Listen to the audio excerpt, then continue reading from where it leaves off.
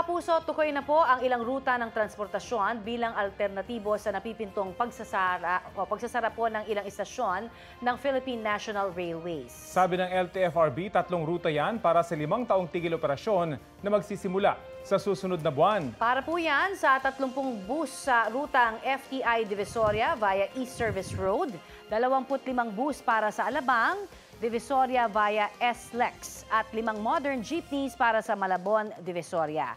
Inumpisahan na po ang qualification process para dyan. Posible para madagdagan yan depende sa demand ng mga pasahero. 30,000 pasahero ang posibleng maapektuhan ng pagsasara ng ilang istasyon simula po sa July 2 para bigyang daan ng konstruksyon ng North-South Commuter Railway. May dagdag benepisyo ang PhilHealth para po sa mga nagdadialysis. Ang National Kidney Transplant Institute naman balak ding magdagdag ng pasilidad. Balitang hatid ni Jonathan Andal. Isa sa bawat sampung tao sa buong mundo may chronic kidney disease base sa isang pag-aaral. Marami sa mga may sakit sa bato sa dialysis kumakapit. Ang problema, kapag nasagad nila ang 90 sessions kada taon na sagot ng PhilHealth, Nasa 4,000 eh.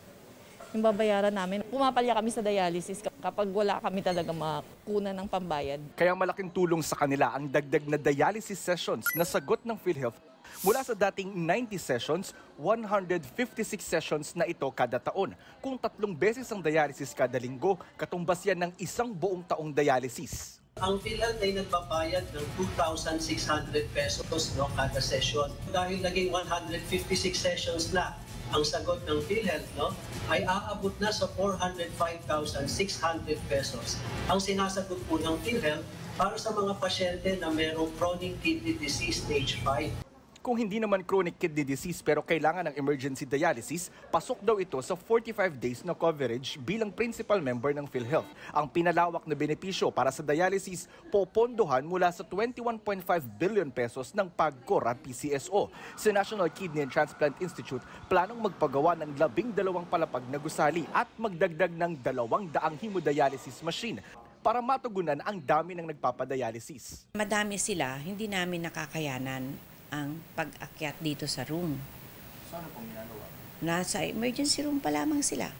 O kaya nililipat namin sa ibang ospital. Pero hindi raw pwedeng habang buhay umasa sa dialysis. Kidney transplant talaga ang kailangan para sa maayos na pamumuhay. Maski araw-arawin ang isang pasyente na nagdadialysis na nakakabit sa makina, hindi niya rin malilinis ng todo-todo ang ating toxins sa ating dugo. Hindi rin siya makakabigay ng hormone na manggagaling sa isang kidney lamang. Jonathan Nandal, nagbabalita para sa GMA Integrated News. Kaugnay naman po ng expanded coverage ng PhilHealth para po sa mga pasyenteng sumasailalim sa hemodialysis. Kausapin po natin ang PhilHealth Corporate Affairs Group Acting Vice President si Ray Baliena. Magandang umaga po sa inyo, sir. Si Connie Season po ito. Magandang umaga, Ma'am Connie, at syempre sa lahat ng inyong taga-subaybay. Sir, ah, applicable ho ba sa lahat ng ah, dialysis patients ang expanded dialysis session na mula po dating ah, 90 sessions lang, ngayon eh 156 sessions na kada taon? Ma'am Connie, ito pong ating benefit ay para po sa lahat ng mga kababayan natin na meron pong chronic kidney disease stage 5 o CKD5. Ano po? At ah, dapat po sila ay nakaregister sa ating PhilHealth Dialysis Database at dapat po yung kanilang paghihimo-dialysis rekomendado po ng isang licensed na doktor.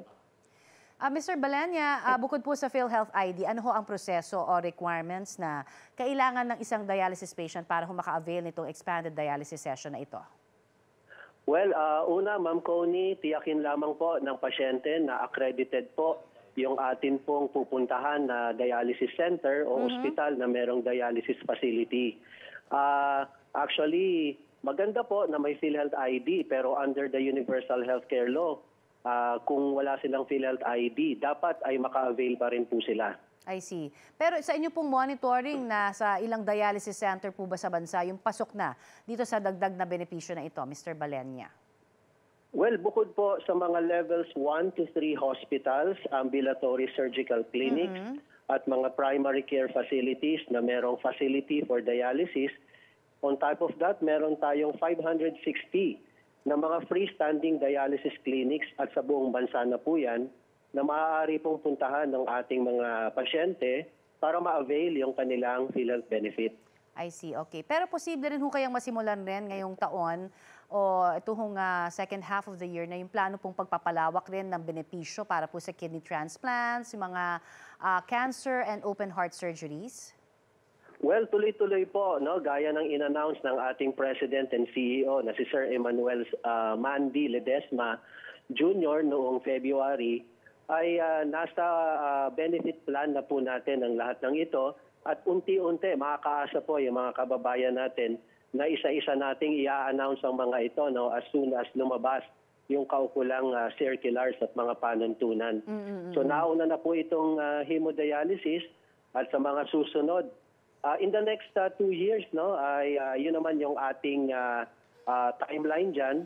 Uh, ilan sa mga pagbubutihin pa kaugnay no sa sa pangangailangan ito ng mga dialysis patients. Ay yun pong kidney transplantation at yung peritoneal dialysis benefit packages natin. Sir, wala naman itong idadagdag doon sa kasalukuyan pong binabayad na ng mga PhilHealth members kung sakasakali dahil may dagdag ding serbisyo. Ay oo, Ma'am Connie, wala po itong magiging karagdagang contribution. At ito pong ah, naging enhancement, expansion sa dialysis sa package natin ay naging posible dahil po sa bahagi ng mga pondo na ibinigay po ng PCSO at PAGCOR sa PhilHealth. I see, oo. At ngayong taon nga po ay merong 21 billion mula po sa kanila na inaprubahan po under the General Appropriations Act.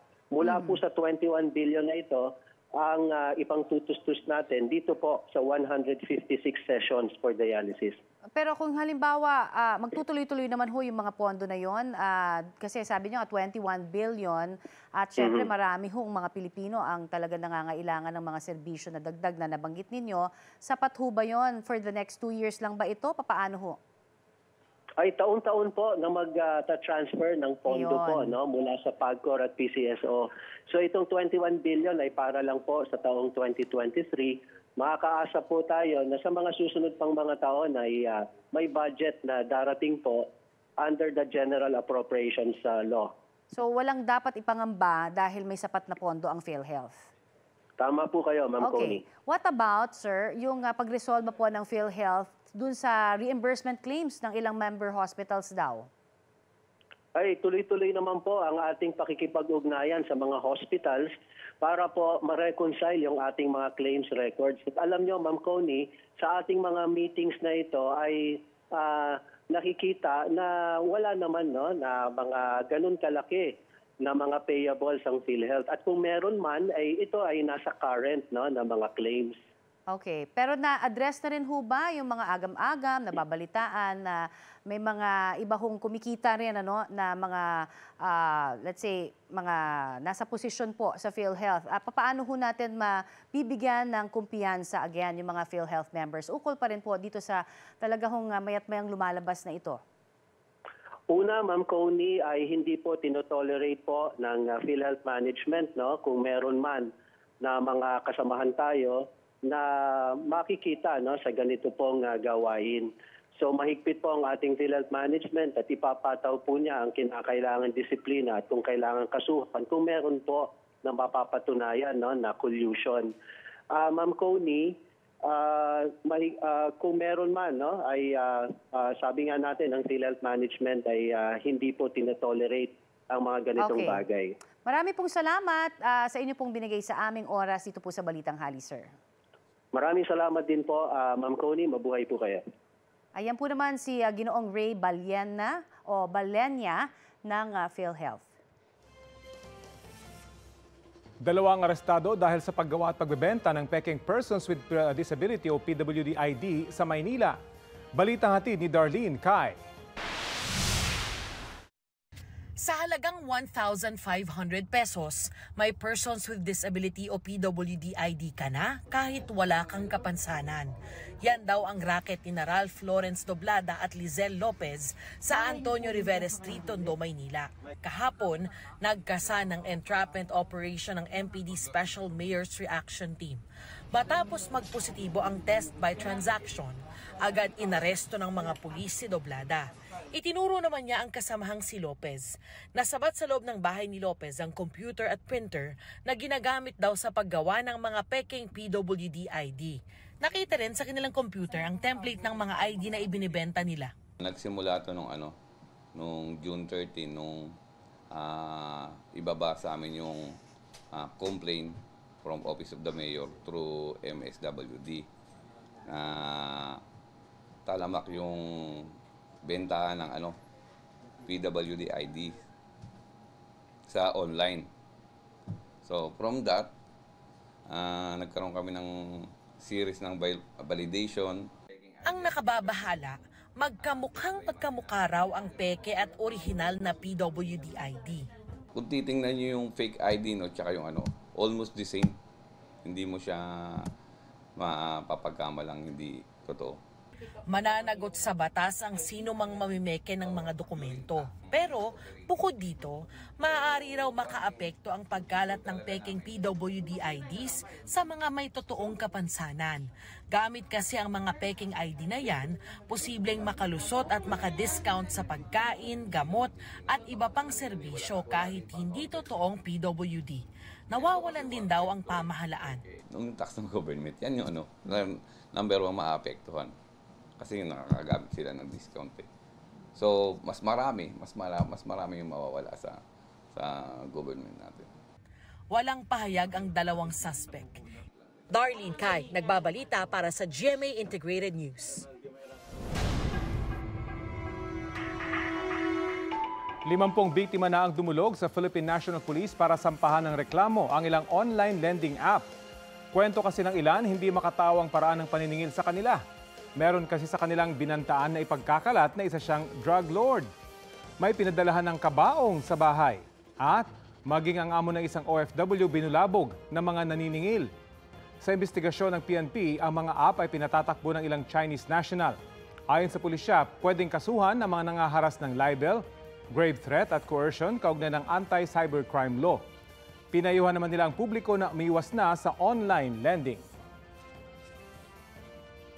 Sinabi ni dating Pangulong Duterte na hiningan siya ng payo ni dating Bureau of Corrections Chief Gerald Bantag tungkol sa hinaharap niyang kaso.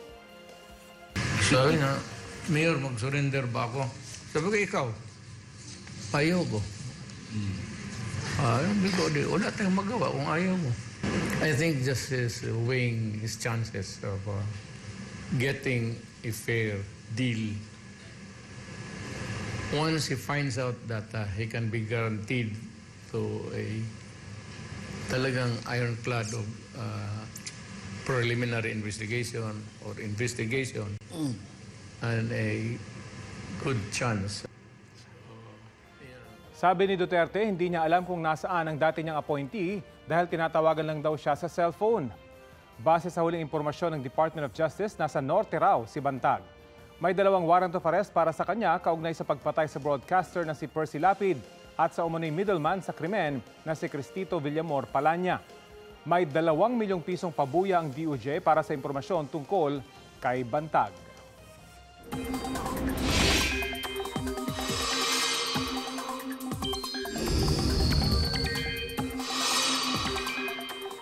Alamin na natin ang lagay ng panahon ngayong weekend mula sa GMA Integrated News Weather Center kasama si Katrina Son. Salamat, Rafi! Kahit walang bagyo o low pressure area, magpapatuloy ang pag-uulan sa malaking bahagi ng bansa. Ayon sa pag-asa, epekto yan ng Intertropical Convergence Zone o ITCZ. Posible naman ng mga local thunderstorm sa nalalabing bahagi ng bansa.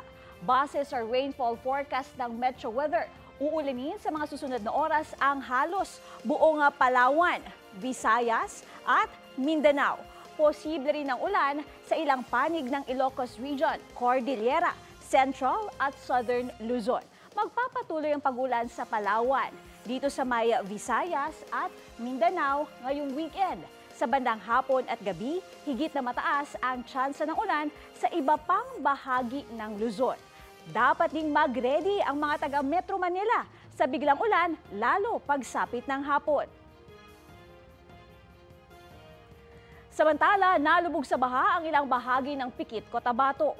Humihingi ng saklolo ang mga apektadong residente ng Barangay Rahamuda. Abot bewang ang baha doon. May ilang lugar na abot hanggang bubong ang tubig.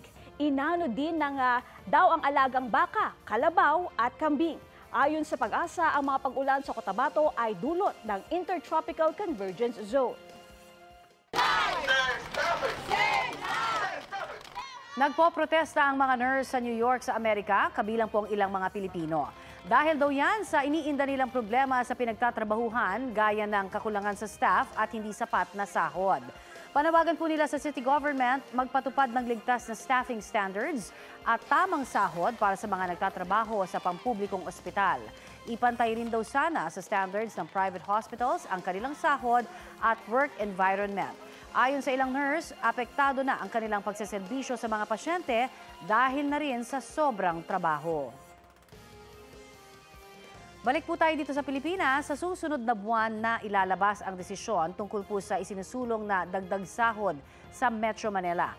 Ayon sa Regional Tripartite Wages and Productivity Board ng NCR, nadinig na nila ang tatlong wage hike petitions. Ang isang petisyon humihiling na 100 pesos na dagdag sa daily minimum wage. Ang dalawang iba pa gustong itakda sa 1,141 pesos o kaya 1,161 pesos ang daily minimum wage sa Metro Manila. Yan daw kasi ang sapat para sa disenteng buhay ng pamilyang may hanggang limang miyembro sa NCR. Tutol naman dyan ang ilang negosyante, lalo na yung mga nasa textile at exports industry na may malaki pa rin umanong lugi. Baka mas lalo raw tumaas ang presyo ng mga produkto kapag ipinasa sa consumer ang dagdag sahod ng mga nasa manufacturing.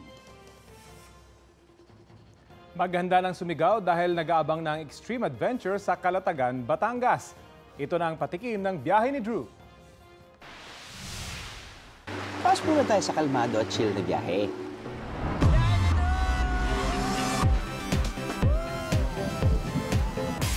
Dahil dadayuhin natin ang probinsya kung saan lahat extreme at to the next level.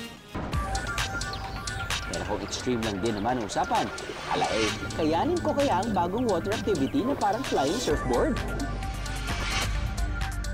Ito ang tinatawag nilang e-foiling o electric hydrofoiling. Pinadali. Combination of right amount of power and balance. Para sa surfing, hindi dumidepende sa alon at hangin ang pagsakay sa e-foil. Up, up, and away!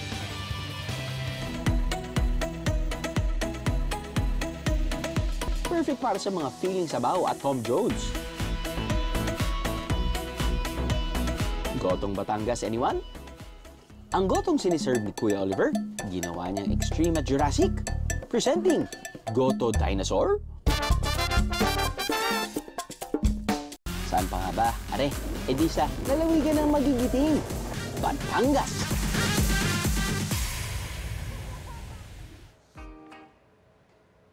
Eto naman ha, taas kamay sa mga kakanin lovers dyan. Eto na, uunahin ko na. Kasama ako dyan, kasama ako dyan yes. partner. oh. Ano ba paborito mo? O, ito kasi, Connie, sa Tugigaraw, kasama Oh. to sa mga paborito ko eh. Ay, ano ba yan? O, ibinida sa isang festival yung nakakatakam na linubian o lubi-lubi. Lubi-lubi, Oo, ang sarap ha? niyan. Ang kakaning linubian ay karaniwang may keso, linga, minatamis na buko at latik na nyog na ginagawang toppings. Mhm. May version din ito na nilagyan ng ube sa pinakagitna.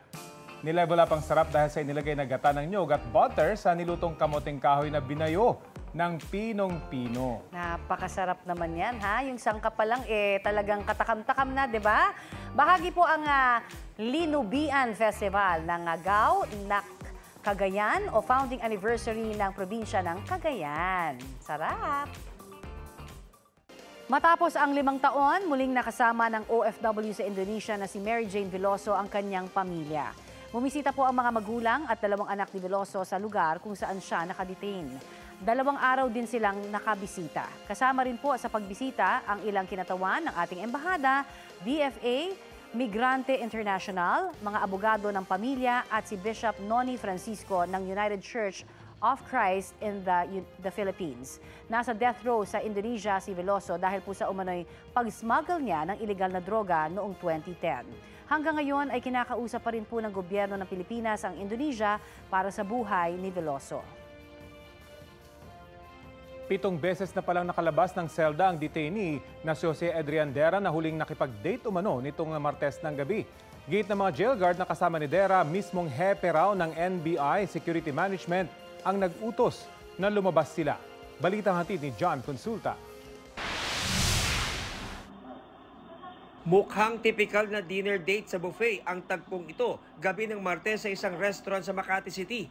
Pero ang lalaking nag-date katabi ang nobya, hindi VIP, kundi si Jose Idriandera o Jad Dera. May kasong murder at illegal na droga at nakakulong sa NBI. At ang mga animoy bodyguard, taga NBI rin. Matapos ang date, hinatid nila ang nobya ni Dera sa Rizal bago bumalik sa NBI TAF sa Manila gamit ang van ng NBI. Dito na sila hinarang ng mga operatiba ng NBI NCR at Task Force Against Illegal Drugs. Panay iwas sa pagsagot si Dera. Bakit po kayo lumalabas ng NBI? No comment po ako, no comment. Walang transaction, sir? Sa Wala labas po, ng wala NBI? po, wala po, wala. Pero sabi sa GMA News ng ilang naarestong jail guard, ikapitong labas nila ni Dera ngayong taon ang dine-in sa Makati. May overnight sa resort sa Angeles, dalawang biyahe sa Batangas, sa isang resort sa Pampanga at dalawang beses sa Tagaytay na ang huli nitong linggo, Father's Day. Utos daw mismo ng hepe nila sa NBI Security Management Section na si Jake Feudo na ipasyal si Dera. Eh, mas mataas po yun sa amin. Kailangan po namin sundin. Kung hindi? Kung hindi po, eh di, hindi po namin alam kung di kami susunod, baka matanggal po kami. Sumunod lang po kami talaga sa utos. Wala na po kaming ibang magiging ano dahil talagang may utos lang po sa amin. Kaya po kami lumabas, sir. Itinanggihan ni Feudo sa GMA Integrated News. Alam daw niyang bawal ito. Tanging mga biyahe ni Dera papuntang ospital ang kanyang piniyagan. Ang abogado ni Dera nananawagang huwag husgahan agad ang kliyente. Jad Dera is experiencing uh, gastritis kasi or uh, acid reflux. Saan health facility po siya dinala? As to, as to that as to that details po wala pa po kami sa kampo namin di pa po namin nakukuha kung anong details. Eh, hindi naman natin marurule out na baka may nag-request na kumain muna bago bumalik. Uh, ang importante dito hindi naman po siya tumakas. Hindi naman nasagot ng abogado ni Dera kung bakit may nasamsam sa kanyang 100,000 pesos cash pero hindi raw yun kay Dera. Yung pera na yon ginagamit po nila as a as ambagan po dun sa pagpapaluto sa loob ng detention cell.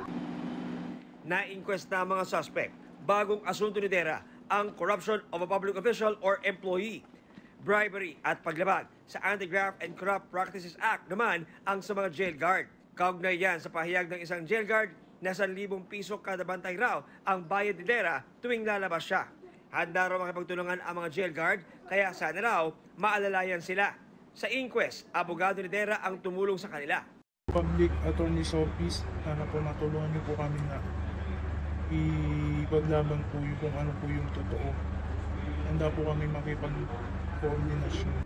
Sabi ng Justice Department, tumanggi raw ang Public Attorney's Office na mag-abogado sa mga jail guard. Sinusubukan pa namin kunin ang panig ng pahod dito. Para sa NBI at DOJ, malinaw na may sabwatan sa paglabas-masok ni Dera, kaya mabusisi raw ang kanilang pagsisiyasat. John Consulta, nagbabalita para sa GMA Integrated News. Sa iba pang balita, bukod po sa patok na puto Kalasyaw, may putahing isda rin na ipinagmamalaki ang mga taga Kalasyaw sa Pangasinan. Yan po ang kinulob o isdang binalot sa talupak o stem ng saging sa halip na aluminum foil. Kinakaliskisan po muna ang tilapia.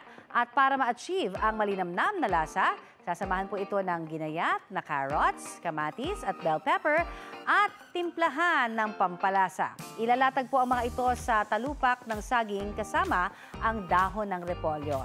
Ipatong ang isda at lagyan muli ng mga ginayat na gulay at dahon ng repolyo. Gamit po ang alambre, maari nang isara ang talupak ng saging.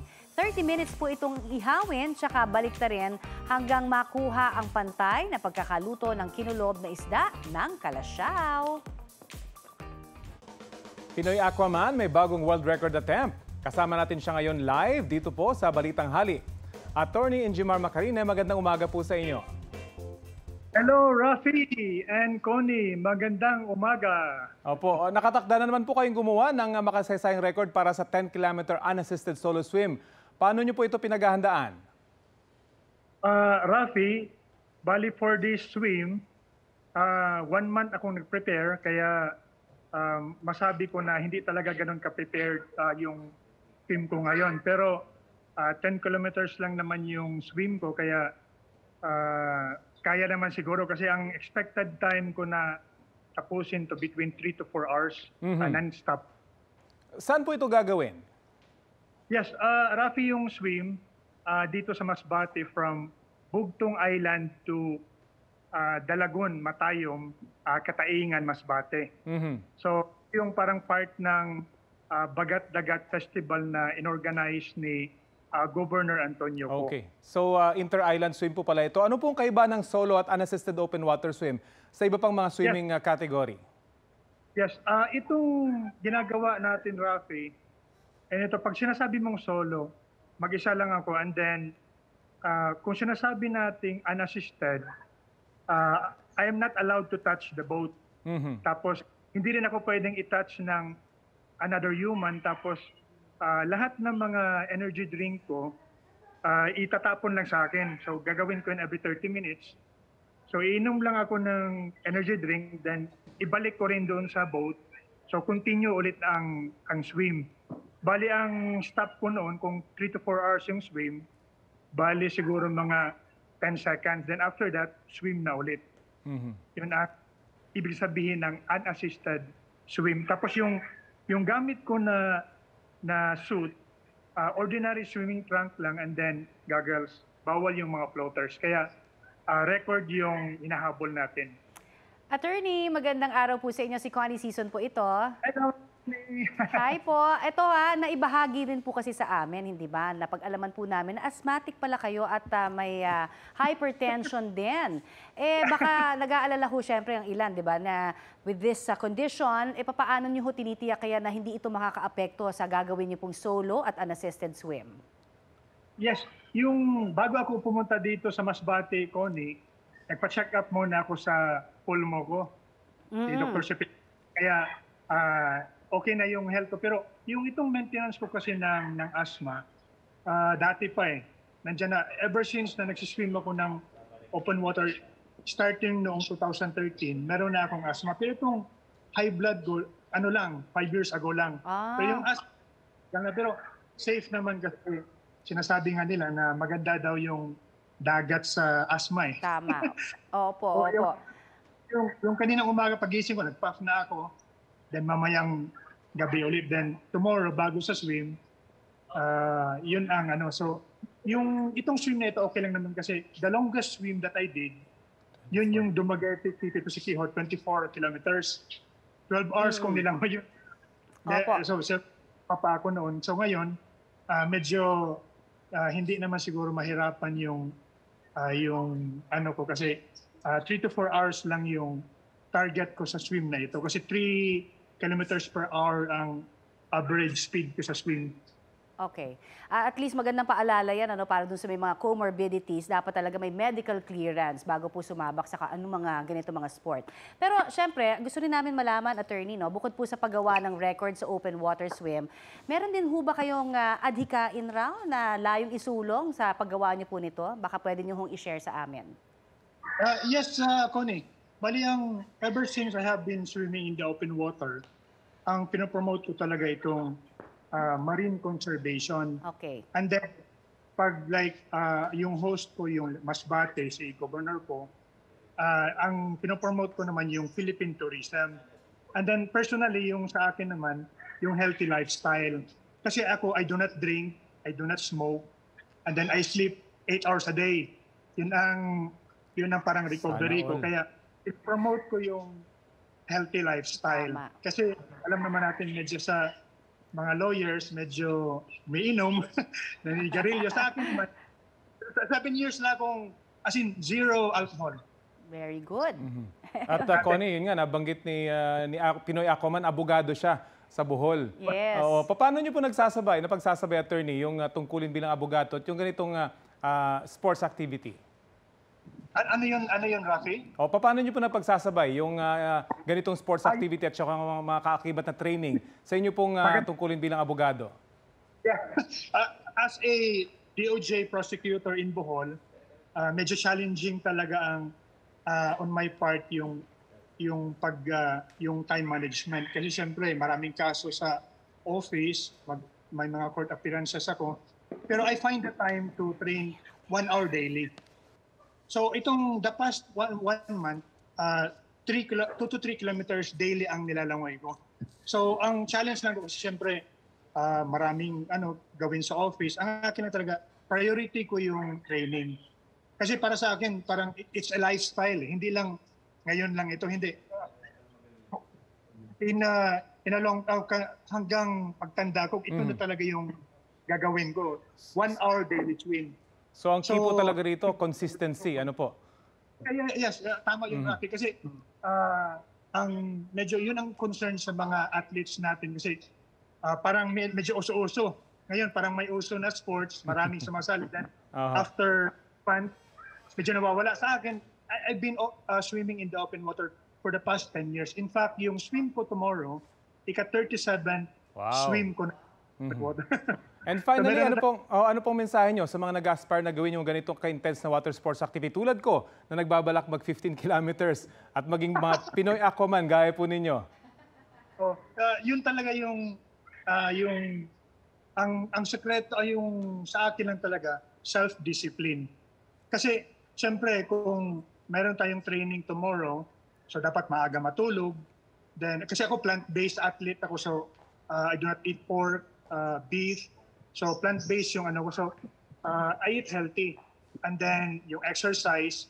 So ang kung yung mga gustong mag open water, yun lang talaga, ah, self-discipline, i-balance Mhm. lang lahat. Siyempre, meron naman tayo lahat mga trabaho, ibabalance lang yung lahat para meron talagang time for training, Mhm. tapos yung nutrition, tapos 7 to 8 yung yung tulog.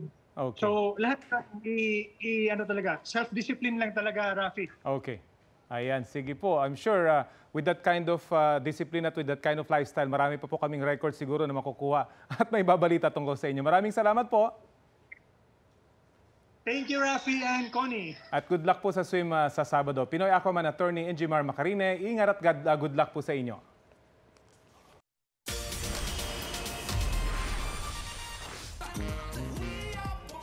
Hindi lang para sa musika, pero para sa mas mahalagang layunin. Isinagawa ang isang concert sa Paris, France. Isa itong call to action sa world leaders para sa climate change at inequality. Kabilang sa mga tumugtog sina American singer-songwriter Billie Eilish, Lenny Kravitz, at ang Phil-Am singer na si Her. Nagbigay din ng speech ang ilang climate change activists. Kasabay ng concert, ang summit ng world leaders sa Paris kung saan pinag-uusapan ang bagong global finance agenda. Ang award-winning Filipina actress na si Dolly De Leon may bagong role. Isa siya sa kasang season 2 ng seryeng Nine Perfect Strangers. Ang kwento, tatakbo sa pagitan ng siyam na hindi magkakakilalang tao na nagkita sa isang retreat. Isa si Dolly sa bagong stranger sa serye. Makakasama niya rito ang Hollywood actress na si Nicole Kidman. Hindi si Dolly ang unang Pilipina na makatrabaho ni Nicole. Sa seryeng The Expats, nakasama na rin niya si Ruby Ruiz. Nakatapos naman na sa shooting ng dalawang international film si Dolly De Leon ngayong taon. Katatibay nagbabalita para sa GMA Integrated News. Marami po ang naantig sa pagdalo ng isang babae sa isang graduation ceremony sa Cebu. Si Anne Janet Inot dumalo po sa graduation ng kanyang kapatid na si Abigail sa Mandaue City College. Pero tanging larawan na lamang nito ang kanyang bitbit. Si Abigail po kasi ay pumanaw dahil sa lung disease bago pa man makapagmarcha. Ang pagdalo po ni Anne Janet ay ah, pagtupad sa pangarap ng kanyang kapatid na makagraduate sa kursong Bachelor of Science in Business Administration. Nag-OJT na raw si Abigail nang magkasakit hanggang sa pumanaw noong pong March 27. Marami namang naantig sa kwento ng pagdalo ni Anjanette. Muling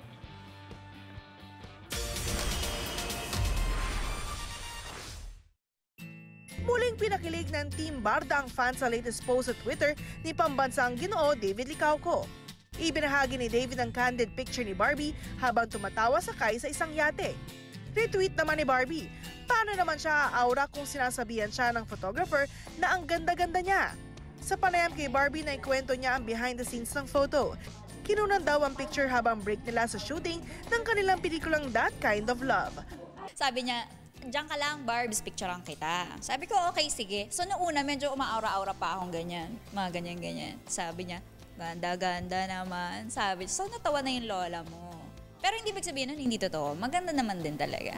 Na-appreciate ko lang yung compliment. Ang eksena raw nila sa yate, isa naman sa kilig scene sa kanilang film. Katatibay nagbabalita para sa GMA Integrated News.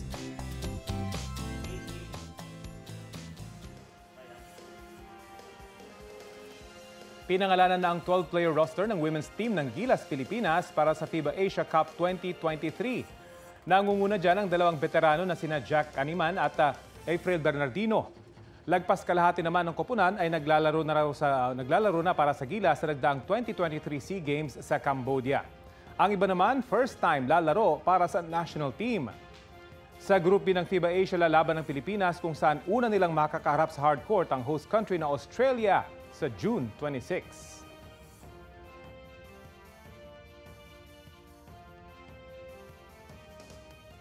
Iwas traffic at tipid na rin po sa pamasahe. May ilan tayong kapuso na pinipiling magbisikleta papunta ng kanilang mga trabaho. Kaya muli pong hinihikayat ng DILG ang mga LGU na isulong ang protected bike lanes.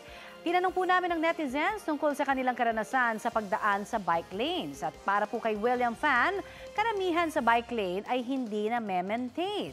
Marami rin daw ang wala ng pintura at lubak-lubak na ang kalsada. Sabi naman ni Earl John Mesa, napupuno ng motorsiklo ang bike lanes. Okay naman ang bike lane sa biyaheng Ortigas ayon kay Jam Rocha. Pero ang ilang sasakyan na lumiliko raw, aba, wala raw pakialam sa mga nakabike. Mga kapuso, makisali po sa aming online talakayan sa iba't ibang issue at kung may mga naisin po kayong maibalita sa inyong lugar, mag-PM lamang sa Facebook page ng Balitang Hali.